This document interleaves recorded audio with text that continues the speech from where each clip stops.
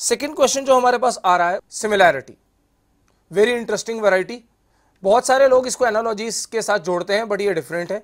इसमें आप देख सकते हैं कि मेरे पास दो फिगर्स बने हुए हैं, और उन दो फिगर्स में कोई लिंक है, वो किसी तरीके से किसी पैटर्न को फॉलो करके बनाए गए हैं. उसी लिहाज से, उसी पैटर्न को फॉलो करते हुए, मुझे एक डायग्राम और चूज़ करना है, जो इनमें से कोई होगा, इन पाँच फिगर्स में से होगा. तो मेरा क्वेश्चन कुछ इस प्रकार है in the following question a related pair of figures is followed by five numbered pair of figures select the figure that has a relationship similar to that in the original pair means हमें इनमें से कोई एक चुनना है जो इस जैसा है। देखने में सारे ये इस जैसे ही लगते हैं, क्योंकि सभी में एक एक पोर्शन को शेड किया गया है तो देखने से लगता है ये पाँचों और इन दो में कोई भी फ़र्क नहीं रहा होगा। बट आंसर तो एक ही सही है। तो that means we have to pick the best answer यहाँ पे लिखा भी गया है दी बेस्ट आंसर बहुत बार विजुअल रीजनिंग में ऐसा होगा कि आपको दो ऑप्शन सही लगेंगी। बट उन दो में से बेस्ट जो होगी, उसको आप टिक करेंगे और वही आपका आंसर बनेगा। चलिए, देखते हैं कि इनमें से कौन सा आंसर बनता है।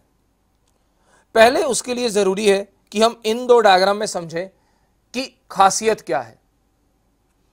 ये दोनों डायग्राम जो हैं, वो सिमेट्रिकल हैं। सिमेट्रिकल मींस इनको बराबर के चार हिस्सों में बांटा गया है। तो जो तीसरा डायग्राम भी बनेगा, वो भी बराबर के हिस्सों में डिवाइड होना ज़रूरी है और वो भी चार, क्योंकि इसके भी चार टुकड़े हैं, इसके भी चार टुकड़े हैं। तो अब जो नेक्स्ट डायग्राम आएगा, उसमें भी हमारे पास चार टुकड़े होना ज़रूरी है। डायग्राम्स में मेरे पास यहाँ पे चार टुकड़े हैं, यहाँ पे भी हैं, यहाँ पे भी हैं, यहाँ पे भी हैं, यहाँ पे भी पर जैसा मैंने अभी कहा कि मेरे पहले दो डायग्राम्स में जो टुकड़े हैं, चारों के चारों, वो एक जैसे हैं। दैट इज़ सिमेट्रिकल है, जो कि यहाँ पे नहीं है। यहाँ पे मैं देख पा रहा हूँ, एक टुकड़ा छोटा है, दूसरा उससे बड़ा, तीसरा उससे भी बड़ा, चौथा उससे भी बड़ा है। सो ये मेरा आंसर नहीं होगा। तो पहली ऑप्शन मेरा आंसर नहीं हो सकती।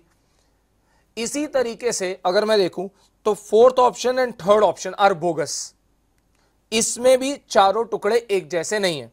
ऊपर वाले और ये वाला टुकड़ा छोटे हैं, ये दोनों बड़े हैं। यहाँ पे भी ये दोनों टुकड़े छोटे हैं और ये दोनों टुकड़े बड़े हैं।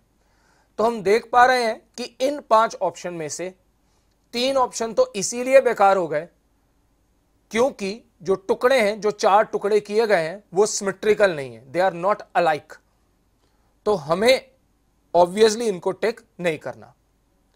अब बचते हैं हमारे पास option number two and option number five option number two बड़े आराम से चार टुकड़े बनाए गए हैं बट इसमें भी वही दिक्कत आ गई। दैट इज़ इसके भी चार टुकड़े सेम नहीं है। ये दो टुकड़े छोटे हैं और ये दो टुकड़े भी बड़े हैं।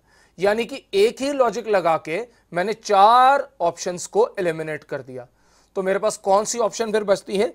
That is option number five and the rule applied over here is again I am repeating हमने देखा चार टुकड़ों में डिवाइड किया गया और वो चारों टुकड़े एक जैसे हैं। दैट इज़ द सिमिलैरिटी वो सिमिलैरिटी मुझे सिर्फ़ इसमें नज़र आई।